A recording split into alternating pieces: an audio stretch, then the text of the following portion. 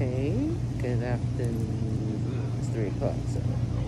Good afternoon. I decided to bring you along on this journey today. Um, we are at the market getting some meat, and everything looks pretty well stacked here today. Yes, it does. Me and my husband are here today.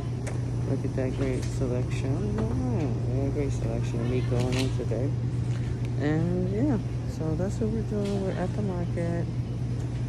What else could I say, you know? You got everything? That him. I claim him. Yeah, that's him. But anyway, he's good with picking up the meat, so I always let him pick up the meat because he picks the best kind of meat. He always does. So I just let him do his thing, and I just push the cart. That's what I do. All right, I'll speak to y'all later. Bye.